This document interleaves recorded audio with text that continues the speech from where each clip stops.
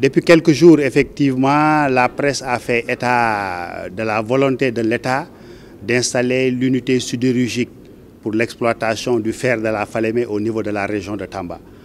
Pour avoir suivi le processus depuis près de 5-6 ans, il n'a jamais été dans les intentions ou options de l'État, ni de la Société nationale Miferso, et même d'un quelconque partenaire d'installer un complexe sidérurgique à Tambacounda.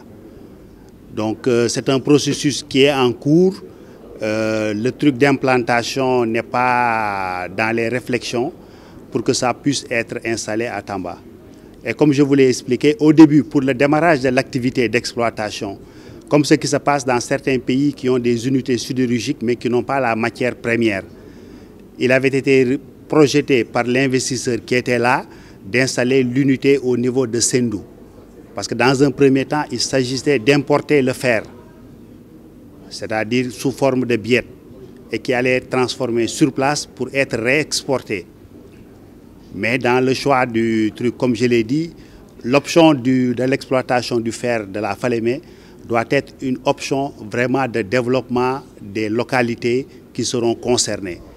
À mon avis, il faudrait aller dans le sens d'en faire un pôle économique pour qu'au-delà de l'installation de l'unité sidérurgique, que l'exploitation du fer puisse vraiment servir de levier pour vraiment le développement territorial des localités qui vont être concernées.